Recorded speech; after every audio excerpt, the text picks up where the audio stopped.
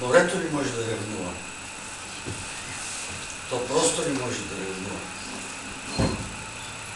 Единственото, което е различно преди и сега, е това, че човек като на брега се чувства съвсем различен. И му е много трудно да свикне с това нещо. И всъщност не морето ревнува мен, а аз ревнувам по-скоро морето, защото ми липсва. Много ми липсва. И затова понякога,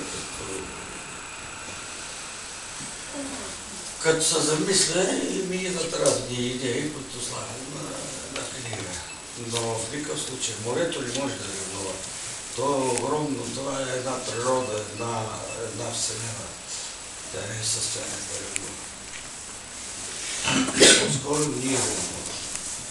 Тоест ти продължаваш. Продължавам да мисля, даже скоро, преди миналата седмица. Пак сънувах, е, аз често сънувам кораби, морета, пак сънувах някакви пясъчни брегове, Гърция ми беше и не мога да се спомня. И е, когато сънувам такива неща, и като се събудя, се събуждам като природен.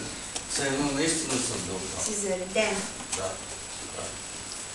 Искаш да кажеш, че понеже така от а, твоето ежедневие, особено лятото, знам, че почти няма ден, в който ти да не отидеш да се видите.